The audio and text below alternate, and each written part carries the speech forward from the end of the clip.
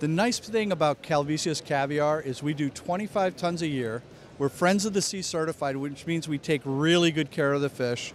It's a fresh running aquifer, so there's no filtration systems. It's a fresh running water out of the ground, goes through the farm, has to be perfect going in as perfect going out. They use all the water for farming. Um, the fish are uh, actually, believe it or not, vegetarian. Okay, so they eat pure algae, which makes them very, very healthy for us. Um, the fish can take um, anywhere from 7 to 22 years for the females to have eggs. The difference in price is not the quality, the difference in price is how long it takes to raise them. It's the, it's the passion for the fish itself uh, that really makes us different. If you look at this in the US right now, this is a Siberian or a Baerii sturgeon. This right now is sold as Osetra all over the US. It's mislabeled. All right, this one takes seven years to raise. This one takes, you know, 11 to 12. It makes a big difference in the cost. Okay, they're all great caviars. This is the tradition, or a white sturgeon. This was originally started our farm. It was out of the Columbia River in, out in uh, Washington State in the U.S. So we started back in 78 with six fish, and that's where our farm actually developed and grew. Um, the cool part is the caviar is all 3.4% salt, whereas almost all the caviars in the U.S. are 5 to 12% salt. So you really get to taste the caviar. Um, the Italians are very passionate about what they do. No hormones, no antibiotics, and no pesticides allowed in your country. That makes us totally unique in the in the fish market. One of these tins, I love. Best way to open it is with a quarter. Okay. So you just pop it open like an oyster, and you open it up, and you get these beautiful eggs. How can I recognize if it's good or not? You, you look at it and you look to see if the eggs are solid, if they're oily, if there's oil pouring out. Can you do that with a lot of caviars? I don't think so. Okay? That's pretty amazing. Um, this is a beautiful caviar. What you want to do is you want to take a spoonful of caviar.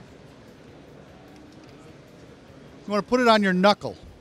Why would I put it on my knuckle is because I get to look at the eggs. They warm just a little. You don't want to serve it warm. You want it to warm just before you eat it. But you want to look at the eggs, see if they're broken or, or solid these are beautiful, and they got a beautiful uh, look, color, shape. The thing you want to do is smell it. Any smell means it's no good. All right. If it smells sweet, it's it's spoiled. But great caviar should have no smell, maybe a little touch of the sea if you have a really good nose. Then you're going to put it on your tongue, crush it on the roof of your mouth, and let the flavors come to you. This caviar has so many different flavor profiles. I taste um, initially celery notes, then I get hazelnuts, walnuts, almonds, and then if I let it sit on my tongue for a second or two, I actually get apples, pears, strawberries, sometimes rose hips. Enjoy.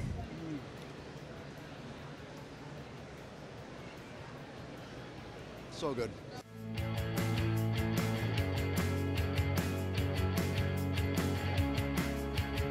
everybody thinks they're Russian caviar. I'm like, please buy Russian caviar. Why do I say that? Because we put five tons into Moscow last year.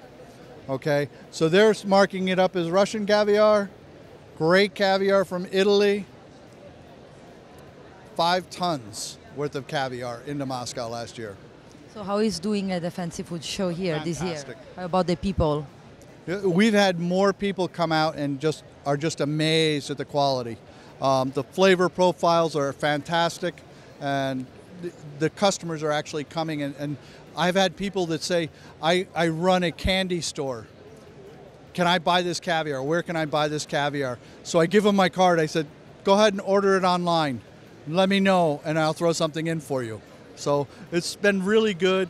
Uh, the show itself, I've had some great customers, and they don't turn around overnight. It takes years to get them. And this is going to be a very good show for us. I can already see it.